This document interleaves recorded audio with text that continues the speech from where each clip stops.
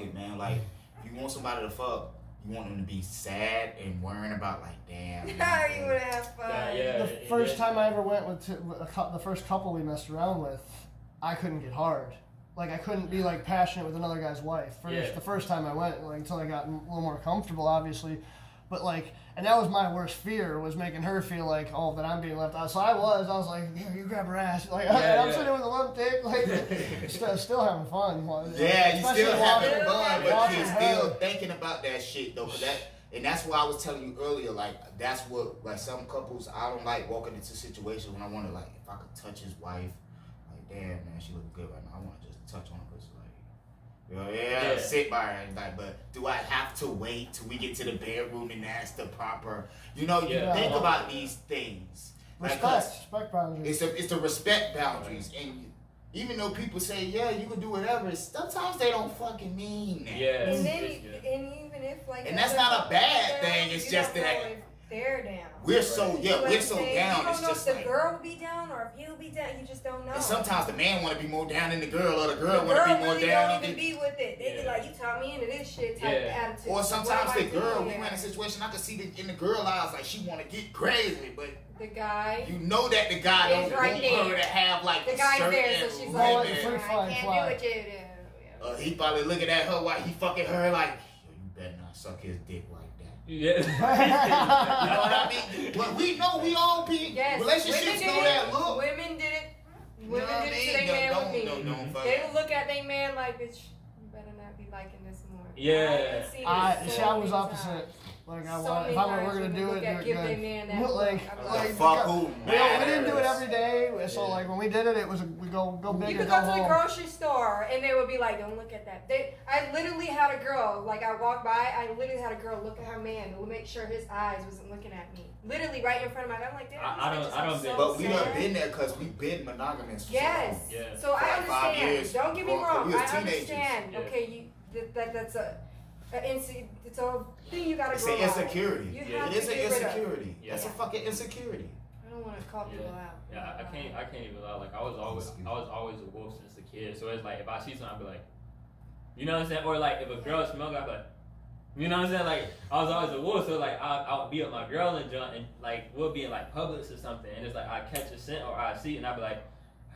You know what I'm saying? I had to like Right. look Tunnel down. vision. Yeah, like I try to like look down. You See, know what I'm saying? I caught her doing that. That was her. She Yeah. she loved girls. Like that's what I'm saying. It was so hard for her because some girls think they're into girls until it comes down time to do it. yeah. you know, and like that's where she had a hard time, you know, finding you know girls to play with. And then we started playing with couples, and it was a lot a lot better. Yeah, it's hard to find single. It's hard to find girls. So we gonna um, finish this out. What you think makes a woman climax? What makes a woman orgasm? Before we watch the video, Um, we're gonna we're gonna cut this after your answer because the video I don't want no clip, issues or definitely. YouTube, and then And then like hitting that spot, like you just gotta get that right spot and playing with the clitoris at the same time. Oh, it's good. So guys, you heard it. So I'm glad you guys has came and watching us on YouTube, watching us on Facebook, Instagram, Twitter. You can find us everywhere, Couples United Group. You know, please follow us some more. We're gonna watch a quick YouTube video and then we're gonna have Lydia. We end the, we win we end every discussion intervention with a um a demonstration, physical demonstration with volunteers and things of that nature. So um, we're gonna watch a YouTube video and do a volunteer demonstration, and then we're gonna. What's a, Take volunteer demonstration on how, how women come? Um, yes, her her demonstration today is gonna be. She, after we watch the video, she's gonna top off the expiration of the female body, and then it's going. She's gonna do a demonstration on how women come um, from uh, example. So she's gonna use some type of example to show how women climax, and then after that, we end the thing and we send you guys home. so.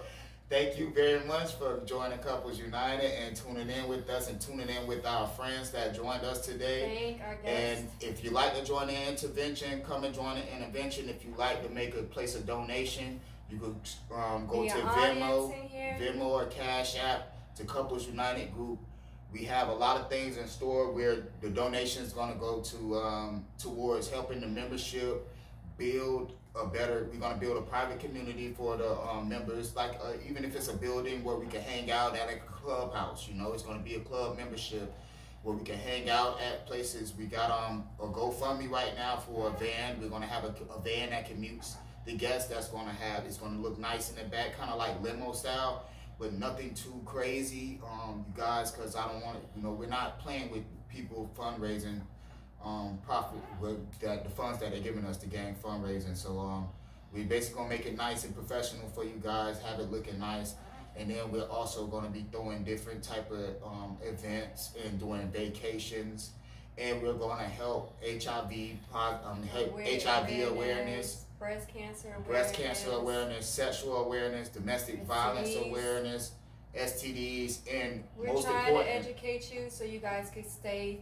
united right. as a couple. And most important, we're going to help the less fortunate yes. because that's very, very important. Um, important because it's a lot of less fortunate people across America and across the world, and you know we've been in a less fortunate situation and we understand totally how important it is when you're really trying to seek for help and you're not getting the help you need when you're not really just sitting there looking for a handout. So I want to be there to help people and help people get a start some type of way. And of course, with Couples United, we're here to help couples unite and love each other. So stay united, stay united.